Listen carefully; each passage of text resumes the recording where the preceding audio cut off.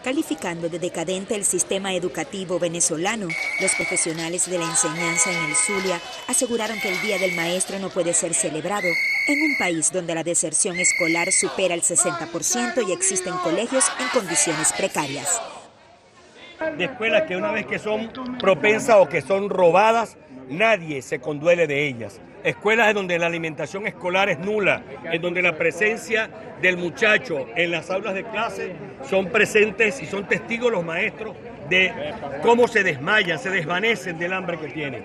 Bajos sueldos e incumplimiento de beneficios laborales son otras de las causas que obligan al maestro a abandonar los salones de clases.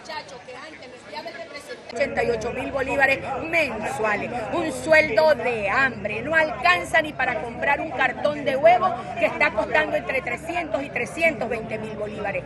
La situación de la previsión familiar en donde el seguro de HCM apenas tiene como respuesta por parte del ministerio 150 mil bolívares. Eso es una afrenta a un docente y a su familia.